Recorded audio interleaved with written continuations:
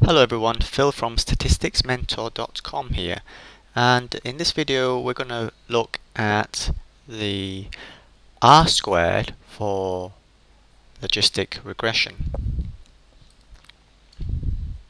To do that I'm going to use this example from the Titanic data where the dependent variable is survived, yes or no, for each passenger. And we're going to regress that on age of the passenger. So to get the logistic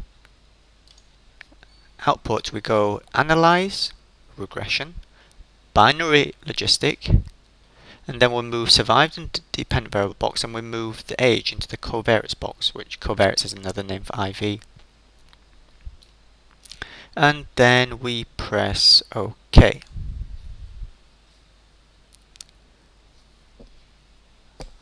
Right and we're going to look for the model summary box. This is what we're going to be focusing on. Model summary. Let's look at it. It's got in there two times the log likelihood. It's got something called the Cox and Snell R squared. It's got a, something which I can't really say what that is. R square. All right. So, but where's the regular R square? You know, we've got these R squares named by the guys, but uh, where are the where's the the kind of standard R square? Well, the standard R square is not reported for the following reason. Let's look at the scatter plot of the DV which has survived against age, which is the IV.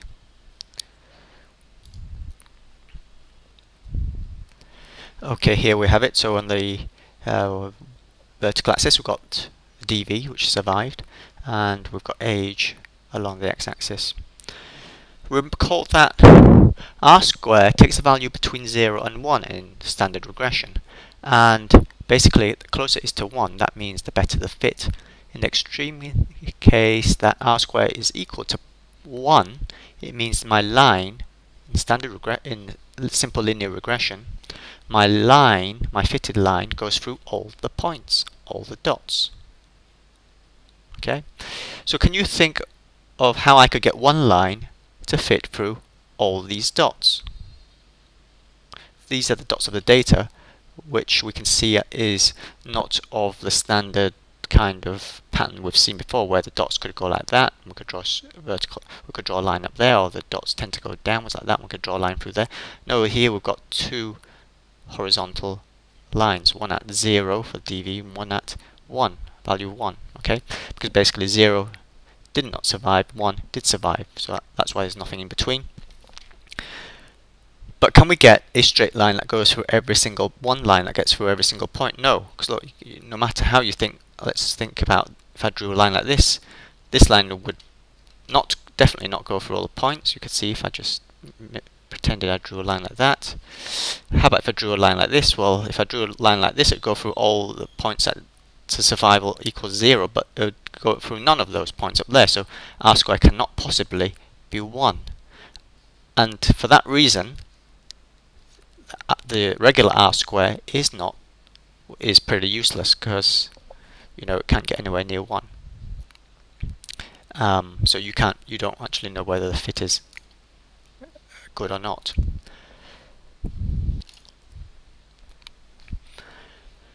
So that's why we've got these kind of two other r squares. Now the Cox and Snell r square is does not go between go up to 1 so for that it's not on the scale from 0 to 1 it could end up less than 1 so um, it's not for that reason it's not commonly used.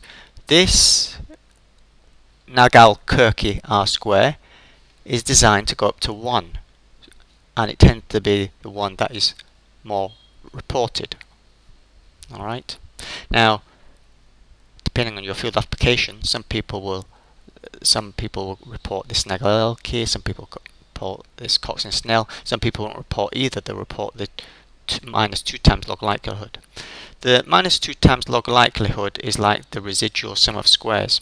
Uh, by itself it's not useful, but it is useful to compute the chi-square test for the model. So we're going to look here at the omnibus test for the model coefficients. This figure 1.371 is the chi-square test value. How do we get it? In part is obtained by using this figure, the minus 2 log likelihood for the model, okay, and another figure. But we'll ignore that, we'll just, just look at this.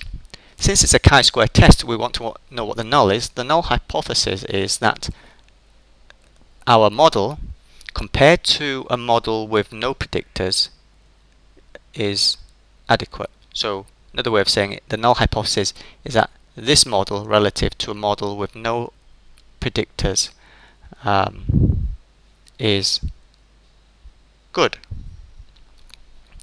Now, we all these figures are the same. So we just slide along to the p-value in this for this case. P-value is 0.242, bigger than 0.05, so we do not reject. In other words, compared to a model with no predictors, this model does not do does not do any better. In other words, compared to a model with no predictors, this model this model is pretty is not that great. It means that we can definitely we can improve on this. And we can improve on this by including more IVs in the model. Alright, but that is not what this has uh, video has been about. It's been about looking at the model summary. So I've told you why the regular R square cannot be used. Um, of the two R squares here, this Nagelkerke one tends to be more, one that's more reported. Okay, um, some people also like to report the minus 2 log likelihood. That minus 2 log likelihood is used to compute the chi-square test statistic, which tests the null that our model, relative to a model with no predictors, is good. Okay, so that's just two things there to note today. Right, so I hope that's been helpful.